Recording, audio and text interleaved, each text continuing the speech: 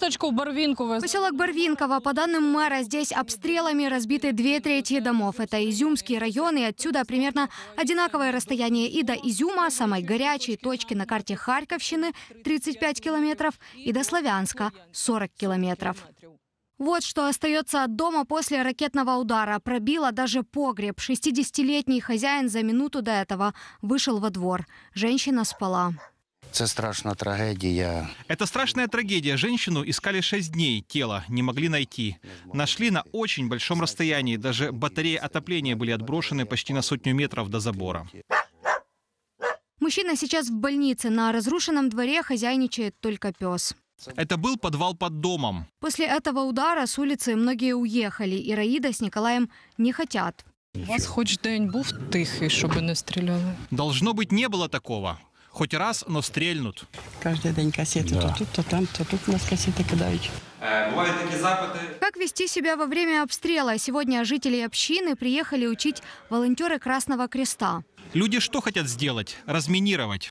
Денис Медик и его дом остался на оккупированной части Харьковщины. будинок. Дом немного обнесли, даже мамины трусы украли. Серйозно?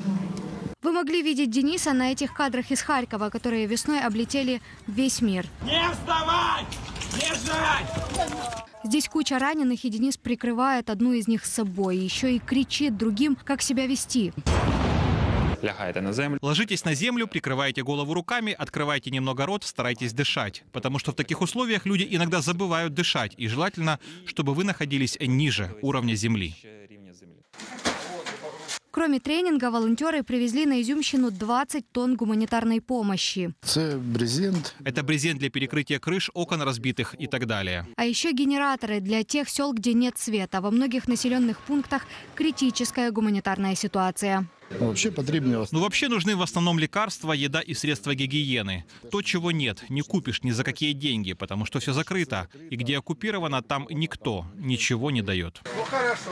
В Изюмском районе из восьми общин оккупированы пять. Еще одна, Балаклейская, на две трети. Российские оккупанты всячески притесняют местных жителей. Їм забороняється. Им запрещается перемещаться по городам Изюм и Бакалея.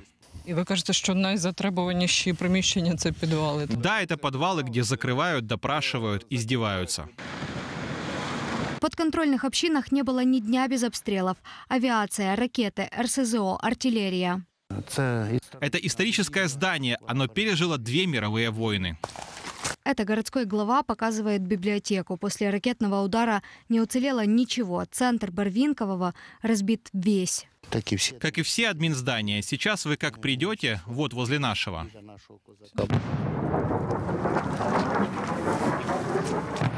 Договорить не удается. Среди бела дня прямо в центре города начинается обстрел.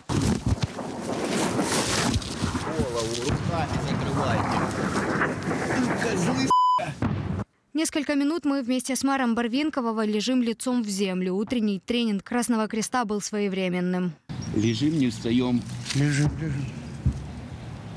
Вони ще будуть взриватися. А так і живемо. І в день того часу воно так. Да, да, да, да. Но несмотря на ежедневные обстрелы и жертвы, люди сейчас массово возвращаются в Барвинково. Только за последние 10 дней около полутысячи жителей. Запитую. Спрашиваю, и один почти ответ. Мы нигде не нужны. Это чужбина. Здесь у нас свой дом. Тот огород посадил, у дома сорняк. Я уже не могу психологически. Дочка у меня боится от этого шолоха. Ночью иногда может бабахнуть неожиданно. У них, как там говорят по совестью, у них по графику. Який графік у них? М. Оце як бабахне, ми боїмося, ми не спимо. А донечці вашій скільки?